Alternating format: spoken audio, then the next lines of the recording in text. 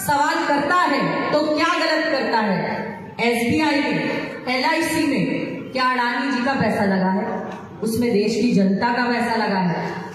उसमें प्रधानमंत्री जी का पैसा नहीं लगा, हिंदुस्तान की जनता का पैसा लगा है। और अगर हिंदुस्तान की जनता का पैसा खतरा में, खतरे में आता है तो सवाल कौन पूछेगा? सवाल कौन पूछेगा? विपक्ष पूछेगा। इन्हीं सवालों को लेकर 7 फरवरी को राहुल गांधी जी ने संसद में तथ्यों के साथ, तथ्यों के साथ दस्तावेज़ और सबूत दिखाते हुए सवाल पूछे, उनका सेट दिया। लेकिन क्या हुआ? राहुल गांधी जी का भाषण संसद के रिकॉर्ड से हटा दिया जाता है, एक्सपंज कर दिया जाता है।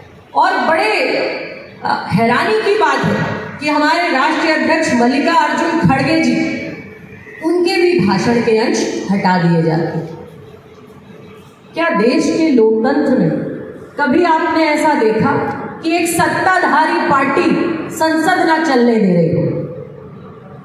इन्होंने राहुल गांधी जी पर गंभीर आरोप लगाए कि उन्होंने विदेश की धरती पर देश का नाम खराब किया। लेकिन प्रधानमंत्री जी सियोल में क्या कर रहे थे? राहुल गांधी जी ने तो बड़ी मजबूती से कहा कि हिंदुस्तान का लोकतंत्र इतना मज़बूत है कि वो विश्व की दिशा और दशा तय करेगा। और ये हमारा आंतरिक मामला है, हम इसको खुद तय करेंगे। ये राहुल गांधी जी के भाषण को आप तरीके से, सही तरीके से आप सबने वीडियोस भी में भी देखा होगा। आपने पढ़ा भी होगा कि उन्होंने बोला क्या और कहीं भी किसी भी तरीके से राहुल गांधी जी ने, वो तो बिल्कुल नहीं कहा, जो भारतीय जनता पार्टी लगातार संसद में राहुल गांधी जी को घेर कर इल्ज़ाम लगा रही थी। विपक्ष की मांग क्या है? विपक्ष की मांग है जेपीसी ज्वाइंट पार्लियामेंट्री कमेटी जब इतनी बड़ी बात हो रही है तो आप जेपीसी आखिर क्यों नहीं लगा रहे? आखिर आपकी ऐसी मजबूरी क्या है? कि आप जेपीसी नहीं लगा रहे हैं। आप जाँच क्यों नहीं बिठा रहे आप बिठाइए जाँच। दूध का दूध और पानी का पानी करिए। यही सवाल लगातार पूरा विपक्ष पूछ रहा है। आज हेमंत विश्व शर्मा जब कांग्रेस में होते हैं तो भ्रष्टाचारी, और जब भारतीय जनता पार्टी में जाते हैं तो मुख्यमंत्री बहुत सारे ऐसे नेता हैं जो जब दूसरी विपक्षी पार्टियों में रहे तो भ्रष्टाचारी के इल्ज़ाम, भ्रष्टाचार के इल्ज़ाम उनके ऊपर ये पार्टी लगा रही, लगातार लगा रही और जब इनकी पार्टी में वो जाते हैं तो दाग अच्छे हो जाते हैं। दाग अच्छे हो जाते तब ईडी भी नहीं जाती, सीबीआई भी नहीं जाती, छापे भी नहीं पड़ते, सब बंद हो जाते तो लगातार जिस तरीके से ये लोग राहुल गांधी जी के पीछे पड़े हैं। वो पड़े क्यों हैं?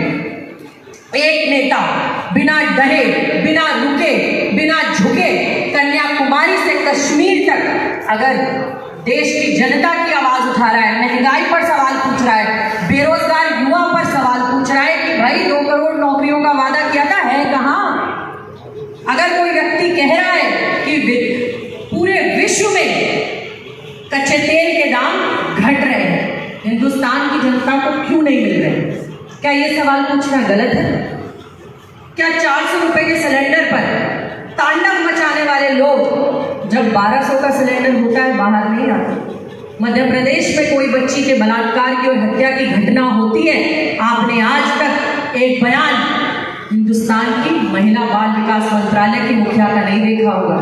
लेकिन राहुल गांधी जी की एक बात आ जाए तो वो सड़क पे मोर्चा खोल देती। तुरंत प्रेस कॉन्फ्रेंस करती दो रुपल्ली के ट्रोल बना दिया है भारतीय जनता पार्टी ने अपने सभी मंत्रियों को। वो अपने मंत्री पद की ज़िम्मेदारी छोड़ सारे के सारे राहुल गांधी जी के पीछे लगे राहुल गांधी जी के सबसे पहला मैंने आपको बताया कि लंदन में किस तरीके से इन्होंने भाषण को मैनिपुलेट किया। दूसरा दावा इन्होंने जो झूठा बोला, वो ये बोला कि भाई राहुल गांधी जी ने एक स्पेशल ओबीसी समुदाय को टारगेट किया। क्या चोर को चोर कहना गलत है? क्या नीरव मोदी चोर नहीं है? क्या ललित मोदी चोर नहीं है? क्या मेहुल चौकसी चोर नहीं है? और अब मुझे लगता है कि अगर चोर को चोर कहना गलती है तो मैं यहाँ इस खुले मन से कहती हूँ कि हिंदुस्तान के लोगों का जो पैसा लेके जाएगा, वो चोर कहलाएगा। और उस चोर को चोर कार्यकर्ता हज़ारों बार करेगा और हिंदुस्तान के लोगों का पैसा लेकर विदेशों में भागने अब नहीं देगा। और मैं आपको बताना चाहूँगी तथ्यात्मक तौर पर। जब नीरव मोदी दावोस में प्रधानमंत्री जी के पीछे खड़े थे, मेहुल चौकसी प्रधानमंत्री जी के मेहुल भाई थे, उनके बारे में बताया गया बकायदा चिट्ठी लिखकर कि ये भागने वाले हैं पीएमओ में। उसके बाद भी कार्रवाई क्यों नहीं क्यों नहीं रोका गया उन्हें?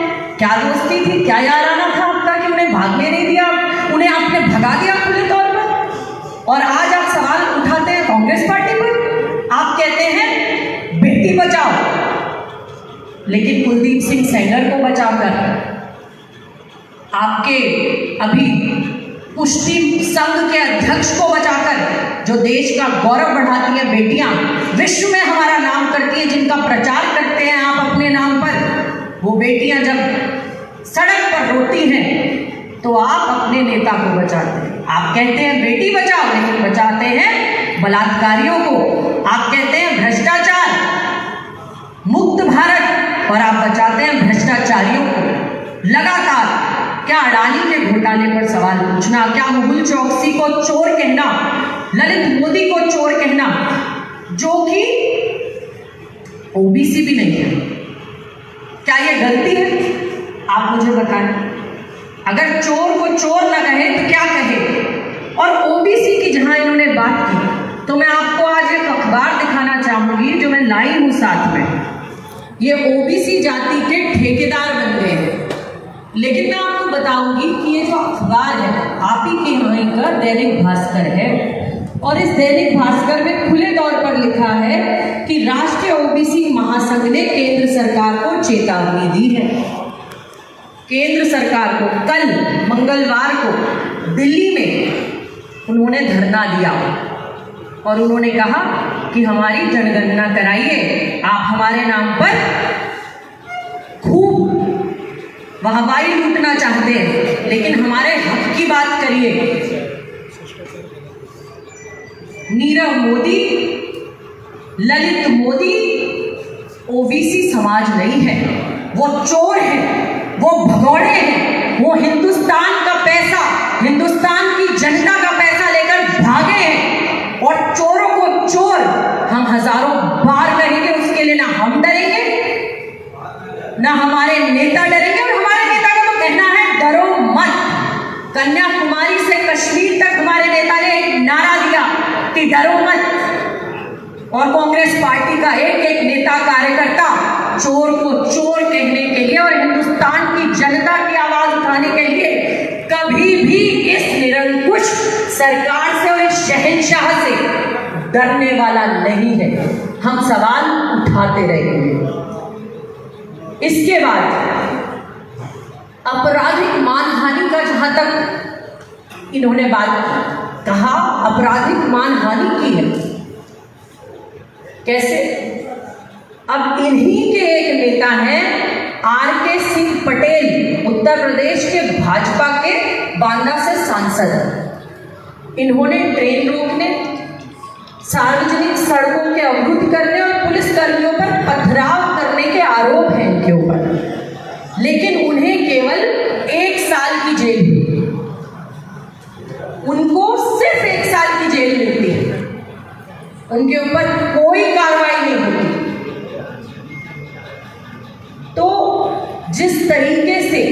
इन्होंने जल्दी दिखाई।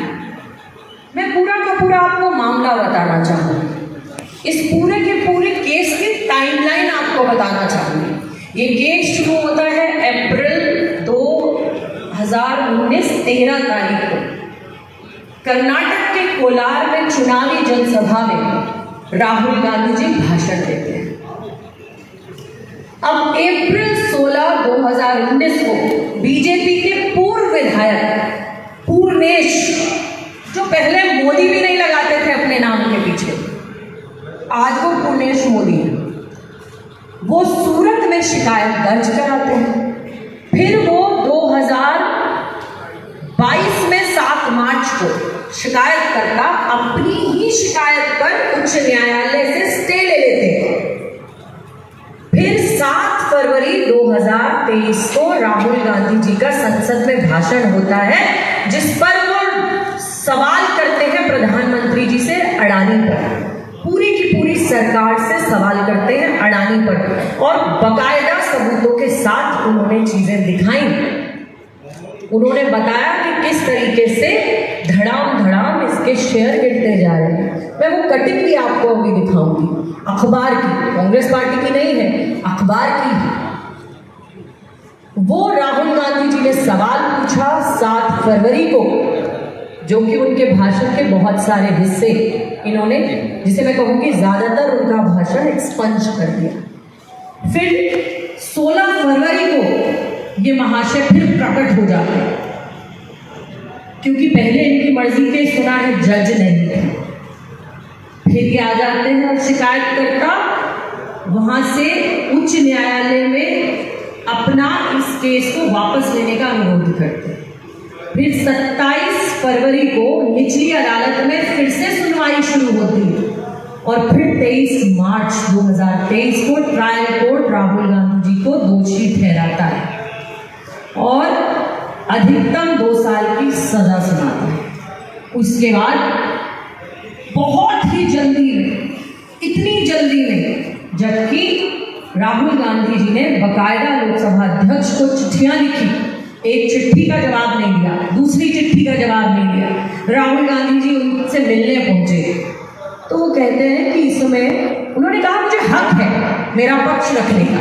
अगर आप मेरे ऊपर सवाल उठा रहे हैं और इस तरीके की आपके मंत्री अनर्गल बातें कर रहे हैं तो लोकसभा सांसद होने के नाते आर्टिकल का हवाला देते हुए उन्होंने कहा मुझे मेरी बात रखने का हक है और ये हक मुझसे इस हिंदुस्तान का नागरिक और सांसद होने के नाते आप छीन नहीं सकते। तो लोकसभा अध्यक्ष कहते हैं, मैं आपकी कोई मदद नहीं कर सकता, आप चाय पी के मेरे साथ चाय पी लीजिए।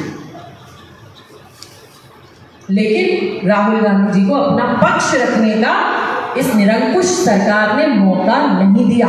और जैसे कि ये इंतज़ार कर रहे थे इसका, और इन्होंने राहुल गांधी जी की 24 घंटे के भीतर 24 मार्च को संसद सदस्यता रद्द कर दी। तो जिस तरीके से, जैसे पिक्चर का सीन होता है, एक पटकथा होती है स्क्रिप्ट होती है, वो स्क्रिप्ट इन्होंने तैयार की और स्क्रिप्ट तैयार करने के बाद इन्होंने, जबकि 30 दिन का समय था इसको चैलेंज करने के लिए, लेकिन इन्होंने 30 दिन का ना इंतज़ार करते हुए 24 घंटे के भीतर भीतर राहुल गांधी जी की सदस्यता रद्द कर दी। क्यों? क्योंकि वो व्यक्ति लगातार, जैसा मैंने आपसे कहा, बिना रुके, बिना डरे, बिना झुके, लगातार इस निरंकुश सरकार से सवाल पूछ रहा था। विपक्ष की आवाज़ बनकर पूरे हिंदुस्तान की जनता की आवाज़ उठा रहा वो सवाल पूछ रहा था कि प्रधानमंत्री जी, आखिर आपका अडानी से रिश्ता क्या है? आपने कितनी विदेश यात्राएँ की? प्रधानमंत्री जी, अडानी जी के साथ। श्रीलंका में आपने क्यों बिजली का ठेका? आप ठेकेदार बन गए, अडानी जी। पूरे हिंदुस्तान की जनता की आवाज़ उठा रहा वो सवाल पूछ रहा था कि प्रधानमंत्री जी, आखिर आपका अडानी से रिश्ता क्या है? आपने कितनी विदेश यात्राएँ की? प्रधानमंत्री जी, अडानी जी के साथ। श्रीलंका में आपने क्यों बिजली का ठेका? आप ठेकेदार बन गए, अडानी जी के और आपने बिजली देने की श्रीलंका में अडानी को पैरवी की। आपने ऑस्ट्रेलिया में भी यही किया, आपने बांग्लादेश में भी यही किया। तो आज विपक्ष आपसे सवाल भी ना पूछे, आज राहुल गांधी जी आपसे सवाल भी ना पूछे, जिस सरकार के पास सेना में डेढ़ लाख से ज़्यादा पद खाली है, सेना में डेढ़ लाख से ज़्यादा पद खाली है, और इस सरकार के पास वो डेढ़ लाख पद भरने का समय नहीं है। उसके अलावा मैं आपको सब दिखाऊँगी। Over 1.55 lakh post vacant in three forces maximum in army ये गवर्नमेंट क्या है? हमारे नहीं क्या हम इन पे सवाल ना पूछें? हम ये ना पूछें कि आप हमारे युवा को नौकरी देने की बात करते थे और आप नौकरी छीन रहे हैं और जब युवा नौकरी माँगता है, आप पकौड़े तलने की बात करते हैं?